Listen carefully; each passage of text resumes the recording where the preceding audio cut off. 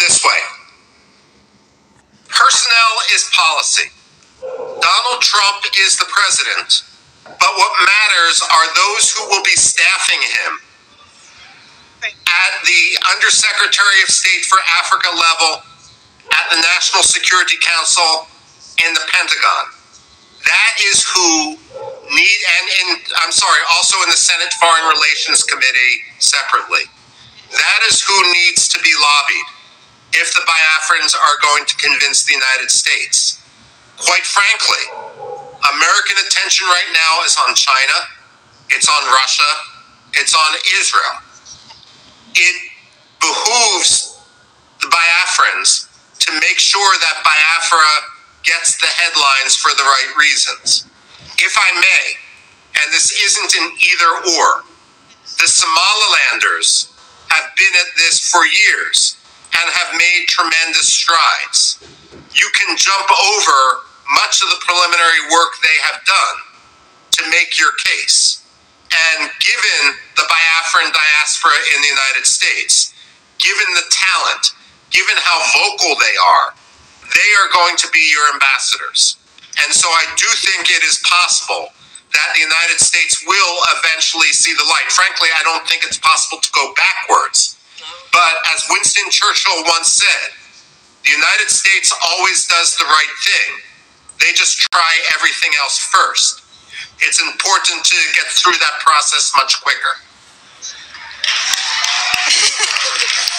Thank you very much. Sorry, I didn't introduce myself. My name is Sister Dominica Oleuna from Olo State.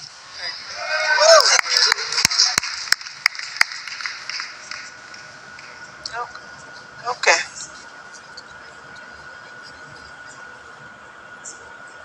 Yeah. Okay. I want, do you want to take it? Thank you.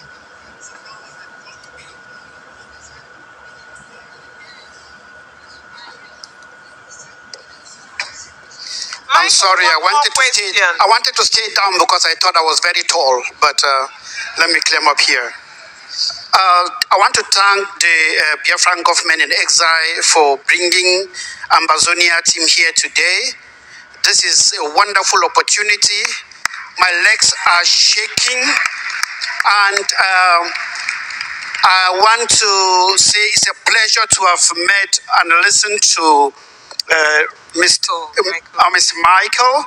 Uh, to uh, in fact, I don't just know. I'm I'm pumping out, and I want to make him to understand that uh, Biafra and Ambazonia are seismic twin. Ah, I'm seeing him here. I was looking there. All right. ah, hello. Yeah, they are seismic twin. And I just want to ask you if you've also made some research on the genocide uh, La République du Cameroon is emitting in Ambazonia, where the scorched earth policy, burning of villages, amputation, burning of fathers and mothers in their houses. And uh, if that is done, that would be a very, very great thing for me to take home today and help Biafra. Thank you very much. Um, I am aware of the situation. I'm aware of the fighting between the Francophones and the Anglophones. I'm aware, based on the Cameroonian community in the United States, in Washington, D.C., who say uh, and describe how much of a police state it is as soon as they land in the country, how they're afraid to go back. I've been in, um, I, I've, I've listened to phone calls um, that people have put on speakerphone to hear about the situation back home. So I am aware of the situation. Aside from a brief airport layover in Douala, I've never actually been to Cameroon. Um, and I would hope to be able to write more about it in the future. Um, the closest I have gotten is to the Central African Republic. Um, but look, without doubt, th- this is my frustration with the United States. Africa is the second most um, populous continent. It is, when I look at the economy of Africa, largely, the fact of the matter is, Africa is the continent of the 21st century. And I find it shameful the difference between the rhetoric of the United States and the reality of our policy. We should not be ignoring Africa anywhere. And that means not only the good news stories, but also the problems, such as what's happening in northern Cameroon. Thank you.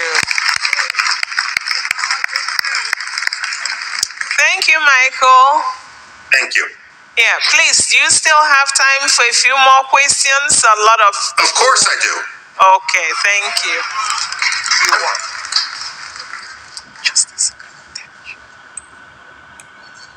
Yeah, you can go.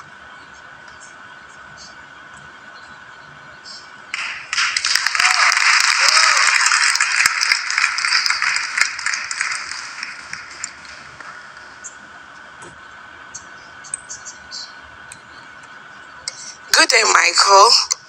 Good day. How are you doing? Very good, thank you. My name is Dr. Ngozi Orobweze. I am the Chief of Staff to the United States of Biafra.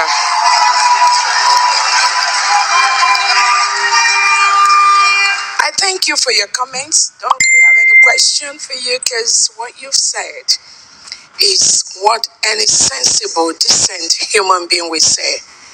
But I just want to use this opportunity on behalf of my Prime Minister, our Prime Minister Simon Ekpa, to thank you for standing up for Biafra. Please continue to do what you're doing for us. Biafrans and generations unborn will be very, very kind to you. That's all I need to say. Thank you so much. Thank you so much, and I pray that we will be able to see him in person soon. Thank, Free from Finnish prison. thank you.